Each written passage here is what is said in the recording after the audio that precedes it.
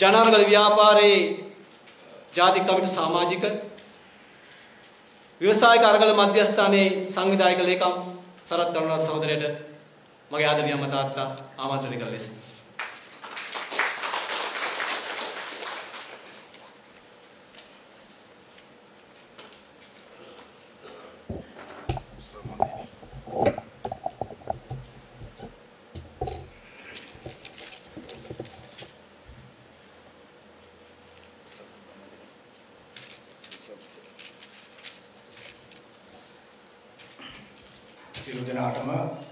සන්ධ්‍යාවක් අ, සහෝදර සහෝදරවරුනි අද අපි මේ ජනාරගල ව්‍යාපාරයේ විදිහට අ, පොළොන්නරු දිස්ත්‍රික්කයේ අ, ජනාරගල සභාව ඒ වගේම මේ පවතින මැතිවරණ ක්‍රමය සහ මේ පාලකයන්ට එරෙහිව ජනතාවට එල්ල වෙලා තියෙන පීඩනය සහ ඒ පීඩනයන්ට එරෙහිව සංවිධානය වීම සඳහා අප විසින් අ, ජනාරගල ව්‍යාපාරයේ විදිහට අපි අ, දීප්ත ව්‍යා- ව්‍යාප්තව මේ අරගල ව්‍යාපාරයේ දේශපාලන ආර්ථික සමාජීය ප්‍රශ්නයන් ජනතාවට සංවිධානාත්මක අරගලයක් දිසා යන ගමනක් තමයි අපි ජනාරගල ව්‍යාපාරයේ දෙවෙනි සනු විදිහට අද දවසේදී ක්‍රියාත්මක වෙලා යන්නේ. සා විශේෂයෙන්ම මේක ඇත්තටම ජනාරගල ව්‍යාපාරයේ අ, අපි පළමු සමුළුව අ,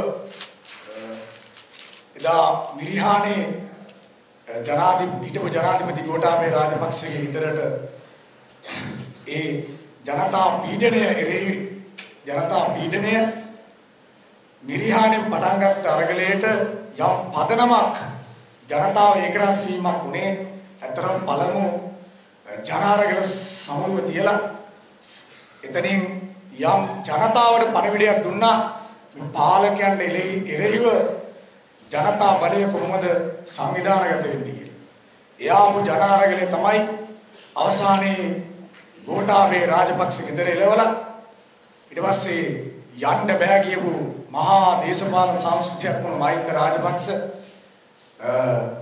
හොරපාරෙන් හැංගිලා හැංගෙන්න තැනටත් ඒ වගේම ඊට පස්සේ ඒ හිටපු පාලක රැළගේ ආරක්ෂාවට රනිල් වික්‍රමසිංහ ජනාධිපතිවරයා විදිහටත් බලයක් නොමැති ඡන්දෙන් පෙරදිච්ච ජනාධිපතිවරයා විදිහටත් පත් කරගන්න වූ ක්‍රියාවලිය සඳහා මේ රටේ කොන්දේසි විරහිතව පක්ෂවලට ඡන්දෙ දීලා බැටගාපු මිනිස්සු මේ රටේ දේශපාලන සංස්කෘතිය අවබෝධ කරගෙන තමයි ජනතා අරගලයේ විශ්වාස කරලා ඒ අරගලය ශක්තිමත් කරලා එක විශාල ක්‍රියාමාර්ගයකින් පස්සේ මේ රටේ ජනතා පරමාධිපත්‍ය මොකක්ද කියන එක ජනතාව තේරුම් ගත්ත දේශපාලන සංස්කෘතියේ වෙනස් වීමක් තමයි පෞද්ගලික කාලේ දැක්කේ.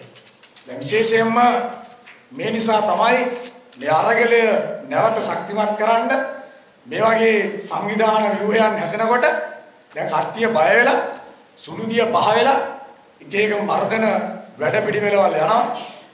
ඒ අතරවාරයේ තමයි නැවතත් මේ රටේ පක්ෂ දේශපාලනය මිනිස්සු පක්ෂ දේශපාලනය මොකද්ද මෙයාගේ ආර්ථික වැඩපිළිවෙල මොකද්ද කියලා තේරුම් අරගෙන ජනතාව නැවත සංවිධානය වීමේ ඒ පශ්චාත් අරගලේ නැවත ගොඩනැගීම සහ ඒ නැගිටීමට බයවිච්ච පාලක උදවිය එක පැත්තකින් මර්ධනය ගෙනල්ලා අනිත් පැත්තෙන් මේ කට්ටි කරපු මේ ආර්ථික විනාශය යම් අර අපේ භාෂාවෙන් කියනවා නම් මේක ජනතාවට සහන දීලා අපි නැවත මේක යථා තත්ත්වයට ගෙනාවා කියලා පදනමක් දාගෙන නැවත මැතිවරණය එළියට අරගෙන දැන් යම් ජනතාවගේ ඒ අභිලාෂයන් ඉෂ්ට කරනවා යයි පවසමින් මේ කාල වකවානුවේ නැවතත් කට්ටිය කරලියට ඇවිල්ලා තියෙනවා.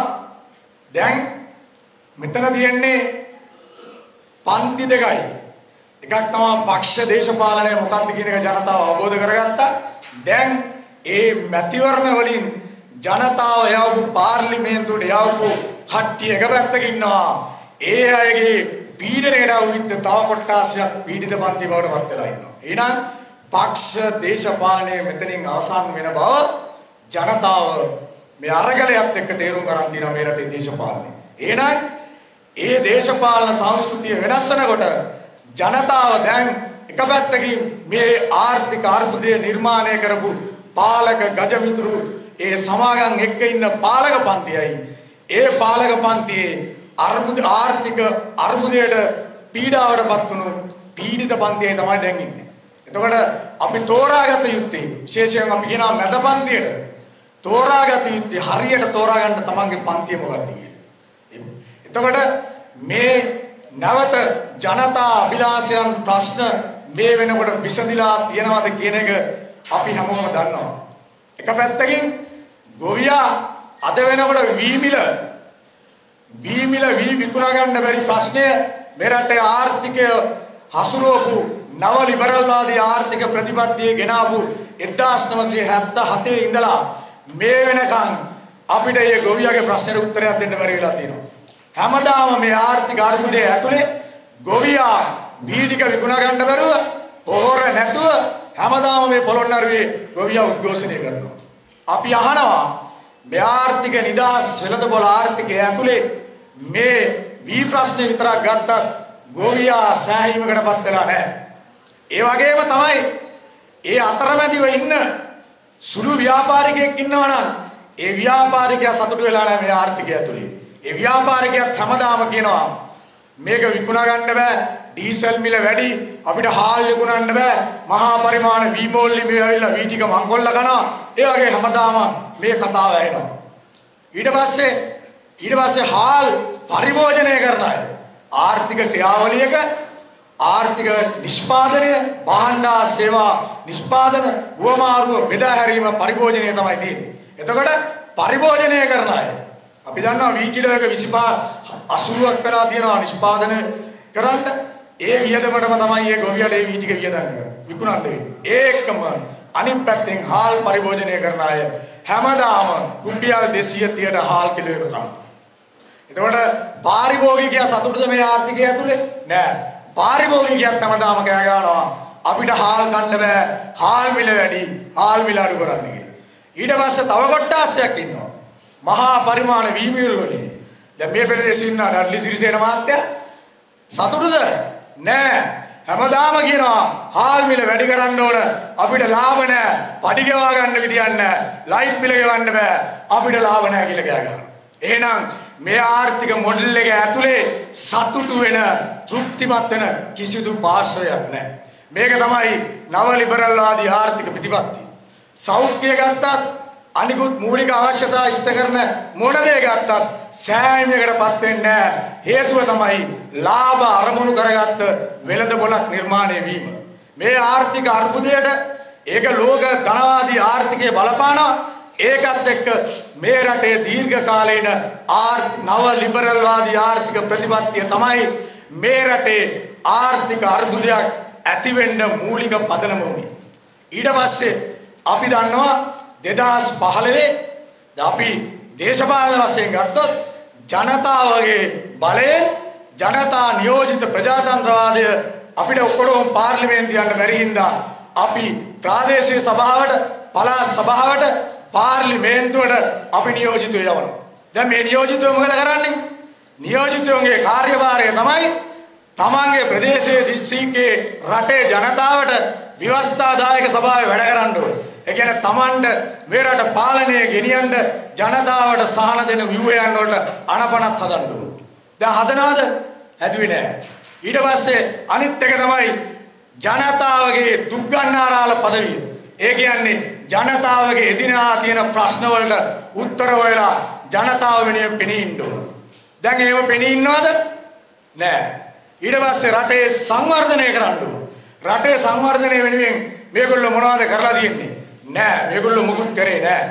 එහෙනම් ජනතාව පාර්ලිමේන්තු යාපු කිසිම කෙනෙක් ජනතා අභිලාෂයන් ඉෂ්ට කරන්න වැඩ කරන්නේ ජනතාවගේ ඒ පරමාධිපත්‍ය බලයෙන් ඡන්දය අරන් පාර්ලිමේන්තු ගිහිල්ලා කරපු දේ තමයි සංවර්ධනය කරනවා කියලා කොමිස් ගහලා මුදලාලිලා වෙලා තමන්ගේ ධනය තර කරගත්තා.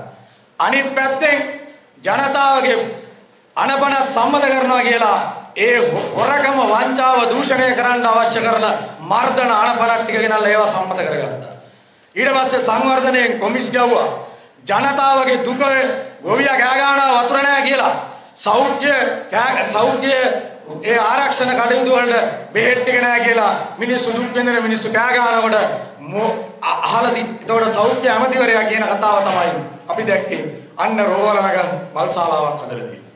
ඊට පස්සේ ඊ ගොවියා ගිහිල්ලා වතුර නැහැ කියලා කෑ ගහනකොට අන්න ගොවියට උණු බලලා ගහලා මෙන්න මහජනතාවගේ දුක් ගන්න ආරාල ටික කරපු වැඩ පිළිවෙල. එහෙනම් අපි අවුරුදු 77ක් තිස්සේ මේ පාලකයන්ට ඡන්දේ දීලා මැතිවරණ ක්‍රමය විශ්වාස කරනවද නැත්නම් එහිට එහා ගියපු පාර්ලිමේන්තු මැතිවරණ මේ ඊනියා මැතිවරණ නියෝජිත ප්‍රජාතන්ත්‍රවාදය හකුලවලා ජනතාවට විකල්ප දේශපාලන වැඩපිළිවෙලක් සංස්කෘතියක් අපි හදාගන්නවද කියන එක ජනතාව විසින් තීරණය කරන්න ඕන කාලයක්. එතකොට මම ආයෙත් නැවත යනවා ඔබගේ අවධානය යොමු කරන්න මේ ආර්ථික අර්බුදය ගැන. ඊට පස්සේ 2015 දැන් ඉන්න පින් ජනාධිපති රනිල් වික්‍රමසිංහ අගමැතිවරයා විදියට මේ රටේ ආර්ථික මර්මස්ථානය මහ බැංකුව මහදවල් මංකොල්ල ගෑවා. ඒ හරහා රටේ තිබුණු ආයෝජන අගමැතිවරයා මහ බැංකුව මංකොල්ල ගන්න සම්බන්ධ වෙනකොට විදේශ ආයෝජන මේ රටට නැති වුණා. ඊට පස්සේ රටේ මුදල් ප්‍රවාහයේ දුර්වලතාවයන් ඇති වුණා. රටේ ණය දුන්න බැංකු ටික රටේ කෑෂ් ෆ්ලෝ එක නැති වෙනකොට ණය දෙන එක අඩු කරා. ඊට පස්සේ 130ක් විත්ත සුළු හා මධ්‍ය පරිමාණ ව්‍යාපාර නිෂ්පාදක කර්මාන්ත මේ සියල්ල නැති වුණා.